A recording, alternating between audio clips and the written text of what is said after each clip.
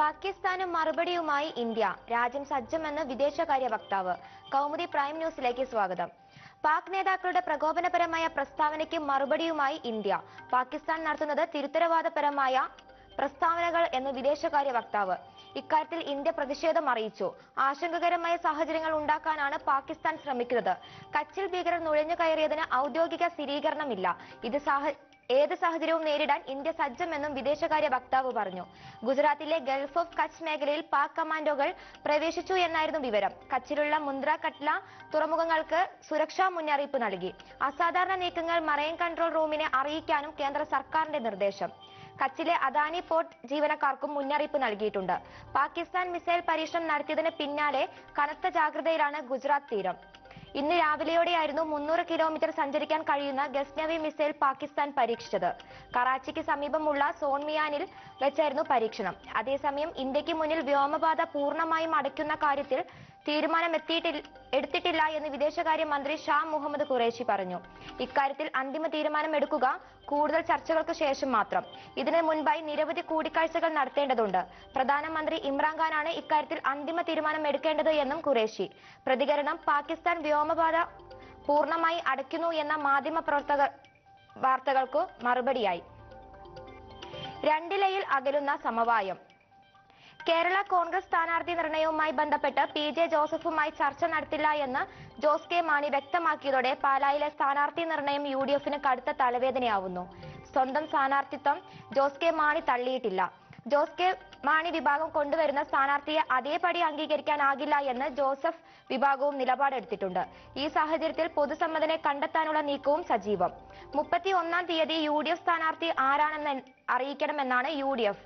കേരള കോൺഗ്രസിലെ ഇരു വിഭാഗത്തിനും നൽകിയിരിക്കുന്ന നിർദ്ദേശം. ജോസഫ് വിഭാഗത്തിന് കൂടി സ്വീകാര്യമായ ഒരു സ്ഥാനാർത്ഥിയെ നിർത്തണമെന്നും ഈ സ്ഥാനാർത്ഥിക്ക് പി ജെ ജോസഫ് ചിഹ്നം നൽകണമെന്നുമാണ് യു ഡി എഫിന്റെ നിബന്ധന. ചിഹ്നം നൽകാനുള്ള അധികാരമുള്ളതിനാൽ തങ്ങൾക്കും കൂടി സ്വീകാര്യനായ ഒരു സ്ഥാനാർത്ഥിയെ കൊണ്ടുവരാനാണ് ജോസഫ് ശ്രമിക്കുന്നത്. അതേസമയം സ്ഥാനാർത്ഥിത്വം ഔദ്യോഗികമായി പ്രഖ്യാപിച്ചതോടെ പാലായിലെ ഇടതുപക്ഷ സ്ഥാനാർത്ഥി മാണി സി കാപ്പൻ പ്രചാരണം തുടങ്ങി. സ്ഥാനാർത്ഥി പ്രഖ്യാപനത്തിലെ മേൽക്കൈ പ്രചാരണ രംഗത്തും പുലർത്താനാണ് മേൽക്കൈ രംഗ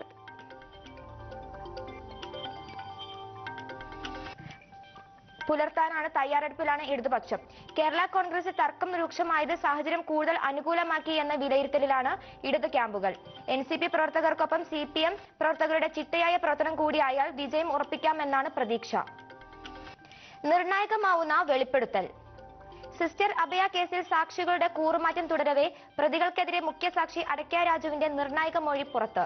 ഫാദർ തോമസ് കൊട്ടൂരിനെയും ജോസ് പുത്രുക്കലിനെയും കോൺവെന്റിലെ സ്റ്റെയർ കേസിൽ കണ്ടതായി രാജു. വിചാരണയ്ക്കിടെയാണ് രാജു മൊഴി നൽകിയത്. അതേസമയം ക്രൈംബ്രാഞ്ചിനെതിരെയും രാജുവിന്റെ മൊഴി. അഭയ അഭയുടെ കൊലപാതക കുറ്റം ഏറ്റെടുക്കാൻ ക്രൈംബ്രാഞ്ച് ആവശ്യപ്പെട്ടു. പണം നൽകാമെന്നും വീട് വെച്ച് നൽകാമെന്നും വാഗ്ദാനം നൽകിയെന്നും രാജു മൊഴി നൽകി. അഭയ കേസിലെ കൂറുമാറ്റം സി ബി ഐക്ക് തിരിച്ചടിയാകുന്ന പശ്ചാത്തലത്തിലാണ് അടയ്ക്ക രാജുവിന്റെ നിർണായക മൊഴി പുറത്തുവന്നത് അഭയ താമസിച്ചിരുന്ന മഠത്തിന്റെ സമീപത്തെ താമസക്കാരൻ സജുവും അഭയ കേസിലെ അമ്പതാം സാക്ഷിയായ സിസ്റ്റർ അനുപമയും കഴിഞ്ഞ ദിവസങ്ങളിൽ കൂറുമാറിയിരുന്നു. ആദ്യം ലോക്കൽ പോലീസും പിന്നീട് ക്രൈംബ്രാഞ്ചും സി ബി ഐയും അന്വേഷിച്ച കേസിൽ സി ബി ഐ തിരുവനന്തപുരം യൂണിറ്റാണ് നിർണായക വിവരങ്ങൾ കണ്ടെത്തിയത്. തരൂരിന് വഴങ്ങി K P C C. Modi അനുകൂല പരാമർശത്തിൽ ശശി തരൂർ എംപിക്കെതിരെ നടപടി വേണ്ട എന്ന ധാരണയിൽ കെ പി സി സി വിഷ് എന്ന ധാരണയിൽ കെ പി സി സി വിഷയം കൂടുതൽ വിവാദമാക്കേണ്ടതില്ല. തരൂരിന്റെ വിശദീകരണം അംഗീകരിക്കുന്നു.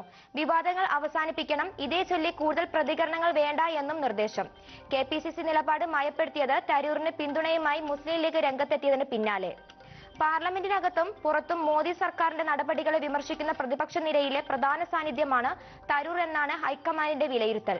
അങ്ങനെ ഒരാളെ കൂടുതൽ വിവാദങ്ങളിൽ ഉൾപ്പെടുത്തേണ്ട എന്നാണ് എ ഐ സി സിയുടെയും നിലപാട്. മോദി സ്തുതിയുടെ പേരിൽ സംസ്ഥാനത്തെ കോൺഗ്രസ് നേതാക്കളെല്ലാം ശശി തരൂരിനെതിരെ ഉയർത്തിയത് രൂക്ഷ വിമർശനങ്ങളായിരുന്നു. ഇതിന് പിന്നാലെ K P C C president Mullappally Ramachandran തരൂരിനോട് വിശദീകരണവും ചോദിച്ചിരുന്നു. മോദി സ്തുതി നടത്തിയില്ല എന്ന് പറഞ്ഞ തരൂർ ഉന്നയിച്ച നിലപാടിൽ ഉറച്ചു നിൽക്കുക തന്നെയായിരുന്നു. കൗമുദി പ്രൈം ന്യൂസ് സമാപിക്കുന്നു. കൂടുതൽ വാർത്തകളുമായി ഒരു മണിക്കൂറിന് ശേഷം സ്നേഹ ചേരും. നമസ്കാരം.